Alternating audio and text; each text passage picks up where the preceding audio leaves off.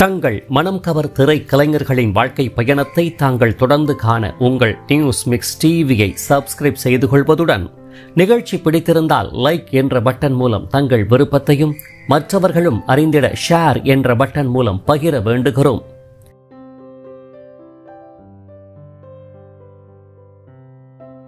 News mix TV தங்கள் அனைவரையும் அன்புடன் வரவேற்கிறது.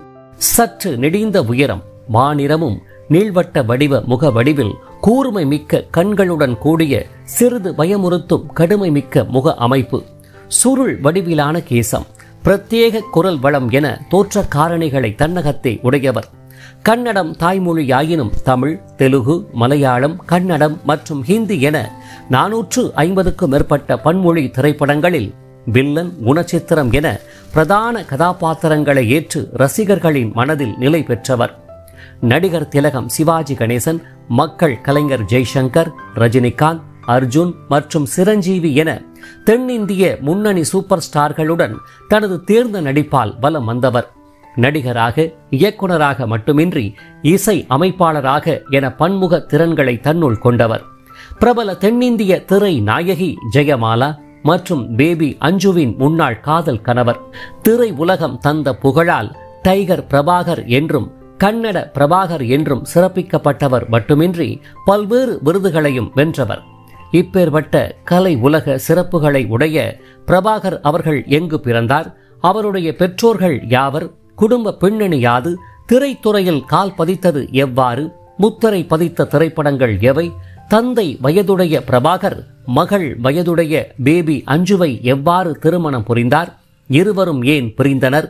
எதனால் எச்சூழலில் மறைந்தார் உள்ளிட்ட அத்துணை கேள்விகளுக்கும் விடையளிக்கும் நினைவலைகள் கூறும் சிறப்பு வாழ்க்கை பயணத்தை தற்போது விரிவாக காண்போம். ஆயிரத்து தொள்ளாயிரத்து ஐம்பதாம் ஆண்டு மார்ச் மாதம் முப்பதாம் தேதி தமிழகத்தின் அண்டை மாநிலமாம் கர்நாடக மாநிலத்தின் பெங்களூருவை அடுத்த புலிகேசி நகரை பூர்வீகமாக கொண்ட கிறிஸ்தவ குடும்பத்தைச் சேர்ந்த சி டி சுந்தர்ராஜ் மற்றும் அலைஸ் டெபோரா தம்பதியரின் பாசமிகு மகனாக பிறந்தவர்தான். நமது வாழ்க்கை பயண நினைவலைகள் நாயகர் பிரபாகர் எனும் டைகர் பிரபாகர் ஆவார். வீட்டின் செல்ல மகனாக பிறந்தவரின் ஆரம்ப கல்வியானது பெங்களூருவிலேயே இனிதே ஆரம்பித்தது. இயற்கையிலேயே சற்று கலையார்வம் மிக்கவரான சிறுவன் பிரபாகர் அவர்கள் பள்ளியில் நடைபெறும் நடன போட்டிகளில் பங்கேற்று பரிசுகளை வெல்ல தவறியதே இல்லை எனலாம். தந்தையின் கண்டிப்பில் கல்வியில் நன்கு கவனம் செலுத்தி வந்தவர் தாயாரின் அரவணைப்பில் ஆடல் பாடலிலும் விழுந்தே வந்தார். இவ்வாறு நாட்டிய கலை மற்றும் கல்வியில் சிறந்து விளங்கி வந்தவர் பள்ளி கல்வியை முடித்த பின்னர் பெங்களூருவில் இயங்கி வரும் பிரபல கல்லூரியில் இளங்கலை பட்ட படிப்பையும் இனிதே வெற்றிகரமாக முடித்தார். இதன் பின்னர் கலையின் மீதுள்ள பேரார்வத்தால் திரை வாய்ப்புகளை பெற முயற்சித்து வந்த வேளையில்தான் கன்னட திரை உலகம் பிரபாகர் அவர்களை தன்பால் நன்கு வரவேற்கத்தான் செய்தது. இதன் அடிப்படையில் ஆயிரத்து தொள்ளாயிரத்து அறுபத்து ஒன்பதில் ஸ்ரீ பவானி சித்ராலயா தயாரிப்பில் கீதப்பிரியா கதை வசனம் மற்றும் இயக்கத்தில் M P Shankar Sudarshan K S Ashwath Sailashree நடிப்பில் வெளியான கடின ரகசியா என்ற திரைப்படத்தின் மூலம் முதன் முதலில் கன்னட திரை உலகில் கால் பதித்து அறிமுகமானார் பிரபாகர் அவர்கள். மேற்கண்ட திரைப்படத்தின் வெற்றியை தொடர்ந்து புண்ணிய புருஷா மாத்ருபூமி கல்லார கல்லா என தொடர் வெற்றி திரைப்படங்களில் வில்லன் மற்றும் குணச்சித்திர வேடங்களை ஏற்று நடித்தவரை கன்னடத்திற்கு அடுத்தபடியாக தெலுங்கு திரை உலகமும் வரவேற்கத்தான் செய்தது. இதன் அடிப்படையில் ஆயிரத்து தொள்ளாயிரத்து எழுபத்து ஒன்றில் வெளியான சலக்கி ராணி கில்லாடி ராஜா என்ற ஆக்ஷன் திரைப்படத்தில் ஜோசப் என்ற கதாபாத்திரத்தை ஏற்று நடித்தவரின் தோற்றப்பொலிவை கண்ட தெலுங்கு திரை உலகம் வில்லன் கதாபாத்திரத்தின் கூட்டாளிகளில் ஒருவராக தோன்றும்படி பிரபாகரை பயன்படுத்திக் கொண்டது. இதன் பேரில் நிஜம் நிரூபிஸ்தா அன்னதாமுள்ள சவால் என தொடர் தெலுங்கு திரைப்படங்களில் முத்திரை பதித்து வந்தவரை தன்பால் கவர்ந்தது தமிழ் திரை உலகம் இதனைத் தொடர்ந்து சிறு சிறு வேடங்களை ஏற்று தமிழ் திரை உலகில் வலம் வந்தவரை சற்று ரசிகர்கள் கூர்ந்து நோக்கும் வண்ணமாக வெளிச்சமிட்டு காட்டிய திரைப்படம்தான் ஆயிரத்து தொள்ளாயிரத்து எழுபத்தி ஏழில் விஜய மீனா பிலிம்ஸ் தயாரிப்பில் பிரபல எழுத்தாளர் சுஜாதாவின் நாவலை தழுவி பஞ்சு அருணாச்சலம் கதை வசனத்தில் ஏ. பட்டாபிராமன் இயக்கத்தில் ரஜினிகாந்த் ஜெய்சங்கர் ஸ்ரீதேவி நடிப்பில் வெளியான காயத்ரி என்ற திரைப்படமாகும். மேற்கண்ட திரைப்படத்தில் கணவர் ராஜரத்தினம் ஏற்பாட்டின் பேரில் அவருடைய மனைவி காயத்ரியை பாலியல் பலாத்காரம் செய்யும் நபராக மாறுபட்ட வில்லனாக தோன்றியிருப்பார் பிரபாகர் அவர்கள்.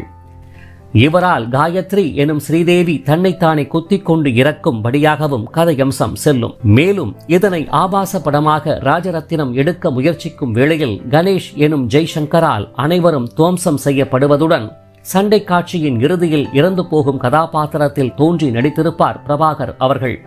மாறுபட்ட கதையம்சம் கொண்ட காயத்ரி என்ற திரைப்படம் அவ்வேளைகளில் பெரும் பரபரப்பாக பேசப்பட்ட திரைப்படம் மட்டுமின்றி அத்திரைப்படத்தில் தோன்றி நடித்தவர்களை மன கண்ணில் நிறுத்திய திரைப்படமாகவும் அமைந்தது. மேற்கண்ட திரைப்படத்தின் மூலம் ரசிகர்களின் மனதில் வில்லனாக நின்று போன பிரபாகர் அவர்கள் மீண்டும் ஜெய்சங்கர் ஸ்ரீதேவி நடிப்பில் வெளியான இது எப்படி இருக்கு என்ற திரைப்படத்திலும் தோன்றி தனது வில்லத்தனத்தால் ரசிகர்களின் மனதை தொட்டிருப்பார். காயத்ரி திரைப்படம் மூலம் ரஜினிகாந்துடன் இணைந்து நடிக்க ஆரம்பித்த பிரபாகர் அவர்கள் இதையடுத்து அன்புக்கு நான் அடிமை திரைப்படத்தில் வேலுவாக அண்ணாமலையில் டானாக பாண்டியனில் பரமேஸ்வரனாக முத்துவில் பிரதாப் ராயுடுவாக என ரஜினிகாந்தின் தொடர் திரைப்படங்களில் அதிக எண்ணிக்கையில் நடித்த பெருமைக்குரியவரும் ஆவார். இது மட்டுமின்றி நடிகர் திலகம் சிவாஜி கணேசனுடன் அமர காவியம் மற்றும் தியாகி உள்ளிட்ட திரைப்படங்களிலும் மக்கள் கலைஞர் ஜெய்சங்கருடன் காலம் பதில் சொல்லும் விஜயகாந்துடன் ஆட்டோ ராஜா அன்னை பூமி அர்ஜுனுடன் ரோஜாவை கிள்ளாது என குறைவான திரைப்படங்களில் தோன்றியிருப்பினும் முன்னணி நாயகர்கள் அனைவருடனும் இணைந்து அவர்களுக்கு இணையாக வில்லன் நாயகனாக தோன்றி ரசிகர்களை நன்கு மிரட்டி இருப்பார் பிரபாகர் அவர்கள். தமிழ் திரைப்படங்கள் மட்டுமின்றி ஆயிரத்து தொள்ளாயிரத்து தொன்னூற்று மூன்றில் வெளியான மம்முட்டியின் துருவம் என்ற திரைப்படத்தின் மூலம் மலையாள திரை உலகிலும் ஆயிரத்து தொள்ளாயிரத்து எண்பத்து நான்கில் வெளியான இன்குலாப் என்ற திரைப்படம் மூலம் ஹிந்தி திரை உலகிலும் அறிமுகமாகி அம்மொழி ரசிகர்களையும் வெகுவாகவே கவர்ந்து அவர்தம் மனங்களில் நின்றவராவார் பிரபாகர் அவர்கள். கர்நாடகத்தில் பிறந்து அத்திரை உலகிலேயே அறிமுகமாகி பின்னர் மற்ற மொழி திரைப்படங்களில் நடித்ததால் இவரை அனைவரும் கன்னட பிரபாகர் என்றே அழைத்து வந்தனர். தமிழையும் ஆங்கிலத்தையும் கலந்து பேசும் பாஷையை தங்கிலீஷ் என்று நகைச்சுவையாய் அழைப்பதை போன்று கன்னட திரை உலகில் முதன் முதலில் கன்னடத்தையும் ஆங்கிலத்தையும் கலந்து ஸ்டைலாக பேசி கங்லீஷ் என்ற வித்தியாசமான மொழியை தோற்றுவித்தார் பிரபாகர் அவர்கள். இவ்வாறு தென்னிந்திய திரை உலகில் பன்முக நாயகராக கன்னட பிரபாகர் வளர்ந்து வந்த நிலையில் ஆயிரத்து தொள்ளாயிரத்து எண்பத்து நான்காம் ஆண்டு விஷ்ணுவர்தன் நடிப்பில் வெளியான ஹுலி கெஜ்ஜி என்ற திரைப்படத்தில் புருஷோத்தம் என்ற பிரதான கதாபாத்திரத்தை ஏற்று பலரும் நடிக்க துணியாத வகையில் புலியுடன் நேரடி சண்டையிட்டு நடித்ததால் பின்னர் நாட்களில் டைகர் பிரபாகர் என்றே சிறப்பிக்கப்பட்டு அழைக்கப்பட்டார். ஜெயந்தி பாரதி ஆரத்தி ஜெயமாலா லக்ஷ்மி எனும் கன்னட உலகின் முன்னணி நாயகியர்கள் அனைவருடனும் இணைந்து நடித்த பெருமைக்குரியவர் டைகர் பிரபாகர் எனில் அதை மறுப்பதற்கு இல்லை.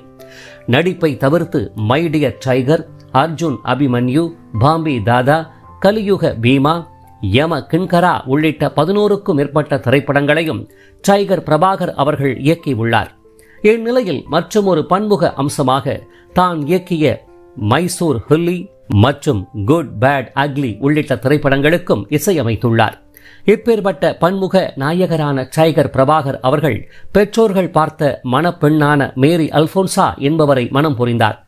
மேற்கண்ட தம்பதிகளின் அன்பின் அடையாளமாக வினோத் பிரபாகர் என்ற மகனும் பாரதி மற்றும் கீதா எனும் இரு மகள்களும் உள்ளனர். இவர்களில் வினோத் பிரபாகர் அவர்கள் தந்தை டைகர் பிரபாகரின் கலை வாரிசாக கன்னட திரை உலகின் கலை நாயகராக திரைப்பட தயாரிப்பாளராக என வளர்ந்து வருகிறார். இது மட்டுமின்றி ஆயிரத்து தொள்ளாயிரத்து எழுபதுகளில் கன்னட திரை உலக முன்னணி நாயகியாக விளங்கியவரும் தமிழ் மலையாளம் மற்றும் தெலுங்கு உள்ளிட்ட திரைப்படங்களில் நடித்தவரும் கர்நாடக முன்னாள் அமைச்சருமான ஜெயமாலா என்பவரை ஆயிரத்து தொள்ளாயிரத்து எண்பத்தி ஐந்தில் இரண்டாவதாக காதல் மனம் புரிந்து கொண்டார் டைகர் பிரபாகர் அவர்கள். மேற்கண்ட தம்பதிகளுக்கு சௌந்தர்யா என்ற மகள் உள்ளார். இவர் இரண்டாயிரத்து பனிரெண்டில் வெளியான காட்ஃபாதர் என்ற திரைப்படத்தின் மூலம் கன்னட திரை உலகில் அறிமுகமாகி தெலுங்கு உள்ளிட்ட திரைப்படங்களிலும் நடித்து வருகிறார். மேற்கண்ட டைகர் பிரபாகர் ஜெயமாலா தம்பதியினர் தங்களுக்குள் கால ஓட்டத்தால் ஏற்பட்ட கருத்து வேறுபாடுகள் காரணமாக ஆயிரத்து தொள்ளாயிரத்து தொன்னூற்று நான்கில் பரஸ்பரம் பிரிந்தனர். இதன் பின்னர் ஜெயமாலா அவர்கள் தனக்கும் தனது மகளுக்கும் ஒரு நிரந்தர பாதுகாப்பு மிக்க ஆதரவு வேண்டி கன்னட திரை உலகின் பிரபல ஒளிப்பதிவாளர் ஹெச். எம். ராமச்சந்திரா என்பவரை மனம் புரிந்து கொண்டு தனது வாழ்க்கையை இனிமையுடன் கழித்து வருகிறார். இவ்வாறு இரண்டு திருமணங்களை கடந்த டைகர் பிரபாகர் அவர்கள் நடிப்பு இயக்கம் என பரபரப்பாக கன்னட திரை உலகில் வலம் வந்து கொண்டிருந்தார். இவ்வேளையில் உதிரி பூக்கள் திரைப்படத்தில் குழந்தை நட்சத்திரமாக அறிமுகமாகி கேளடி கண்மணி திரைப்படத்தின் மூலம் கதையின் நாயகியாக வளர்ந்த பேபி அஞ்சு அவர்களுக்கு இதன் பின்னர் குணச்சித்திரம் நகைச்சுவை போன்ற வேடங்கள் தமிழ் திரை உலகில் நாடி வந்த நிலையில் கன்னட திரை உலகில் தேடி வந்த கதாநாயகி அந்தஸ்தை தக்க வைத்துக் கொள்ளும் பொருட்டு கன்னட திரை உலகில் அறிமுகமானார்.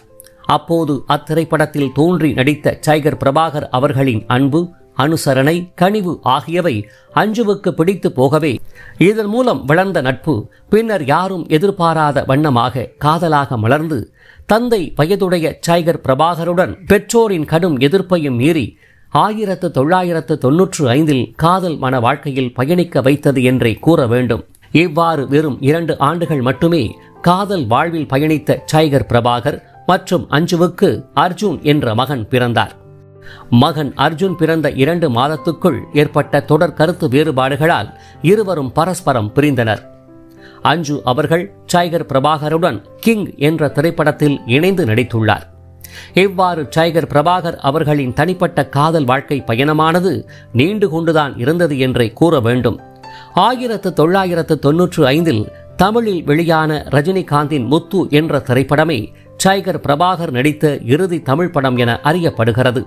இவ்வாறு பன்மொழி திரைப்படங்கள் என சுமார் நானூற்று ஐம்பதுக்கும் மேற்பட்ட கன்னடம் தமிழ் தெலுகு மலையாளம் மற்றும் ஹிந்தி என நடித்து தமிழ் திரைப்படங்களில் கடும் வில்லனாகவும் கன்னட திரை உலகின் பன்முக கதாநாயகனாகவும் மிளிர்ந்து வந்த டைகர் பிரபாகர் அவர்கள் இரண்டாயிரமாவது ஆண்டுகளுக்கு பின்னர் ஏற்பட்ட தொடர் உடல்நல பாதிப்புகளால் சிகிச்சை பெற்று வந்த நிலையில் சிறுநீரக செயலிழப்பினால் கடுமையாக பாதிக்கப்பட்டு இரண்டாயிரத்து ஓராம் ஆண்டு மார்ச் இருபத்தைந்தாம் தேதி இப்புவி உலக வாழ்விலிருந்து தனது ஐம்பத்து ஓராம் வயதில் முற்றிலுமாக விடைபெற்றார்.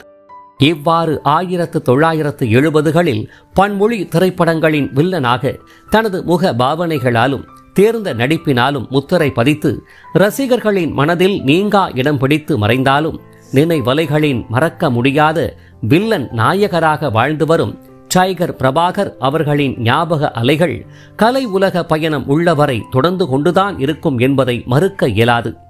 இவரை போன்ற திரை உலக வில்லன் நாயகர்களான கமலின் ஹிட் திரைப்படத்தையே பின்னுக்கு தள்ளிய தயாரிப்பாளரும் மகாநதி திரைப்படத்தின் மாபெரும் வில்லனும் இறுதி வரை கனவு நிறைவேறாமல் துயரில் மறைந்த நாயகருமான மோகன் நடராஜன் அவர்களின் வாழ்க்கை பயணத்தை மேலே தோன்றும் இணைப்பின் மூலமும் தொன்னூறுகளில் திரை உலகை மிரள வைத்தவரும் ஜண்டா என்ற ஒற்றை வார்த்தையின் மூலம் பயமுறுத்திய அம்மன் திரைப்புகழ் கொடூர வில்லன் கலைஞரும் கொடிய நோயால் உருக்குலைந்து மறைந்து போன வேதனை நாயகருமான ராமி ரெட்டி அவர்களின் வாழ்க்கை பயணத்தை மேலே தோன்றும் இணைப்பின் மூலமும் மருத்துவ கல்வியை பயின்று கராத்தே மீது கொண்ட பற்றின் காரணமாக கராத்தேயின் இந்திய தந்தையானவரும் கனவுகள் இறுதி வரை நிறைவேறாமல் மறைந்து போன கலை உலக ஆக்ஷன் நாயகருமான கராத்தே மணி அவர்களின் வாழ்க்கை பயணத்தை மேலே தோன்றும் இணைப்பின் மூலமும் மட்டுமல்லாது தாங்கள் பார்த்து கொண்டிருக்கும் வீடியோவின் கீழே காணப்படும் டெஸ்கிரிப்ஷன் பகுதியில் பிரத்யேகமாக வழங்கப்பட்டுள்ள இணைப்புகள் வாயிலாகவும் மேற்கண்ட வில்லன் கலைஞர்களின் அரிய தகவல்கள் மற்றும் குடும்ப புகைப்படங்கள் அடங்கிய சிறப்பு வாழ்க்கை பயணத்தை தாங்கள் முழுமையாக அறிந்து கொள்ளலாம். இவர்களை போன்ற மறக்க முடியாத வில்லன் நாயகர்களின் வாழ்க்கை பயணத்தை தாங்கள் தொடர்ந்து காண உங்கள் நியூஸ் மிக்ஸ் டிவியை சப்ஸ்கிரைப் செய்து கொள்வதுடன் பின்னர் வரும் பெல் பட்டனிலுள்ள ஆல் என்ற எழுத்தை தெரிவு செய்து கொண்டு தங்களின் விருப்பத்தை லைக் என்ற குறியீடு மூலமாகவும் கருத்துக்களை கமெண்ட் பாக்ஸ் வாயிலாகவும் பகிர வேண்டுகிறோம். காத்திருங்கள். மற்றும் ஒரு வாழ்க்கை பயணத்திற்கு அதுவரை இணைந்திருங்கள் உங்கள் நியூஸ் மிக்ஸ் டிவியுடன். நன்றி.